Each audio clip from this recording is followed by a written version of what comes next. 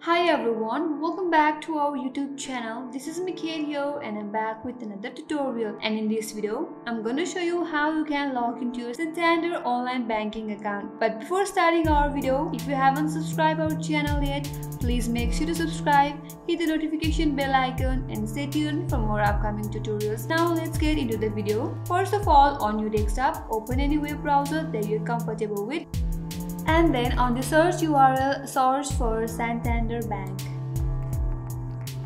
Once you press enter, now click on the very first link that says www.santanderbank.com. Once you click on there, you will be directly loaded to the official web page of Santander Bank.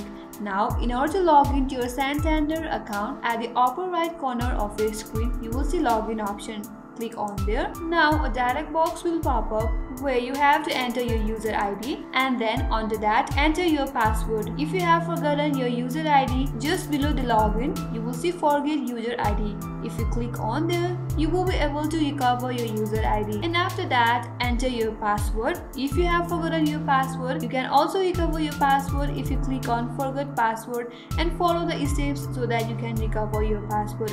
Simply click on login and then you will be directly logged into your Santander online banking account. I hope this video helped you and thank you for watching till the end.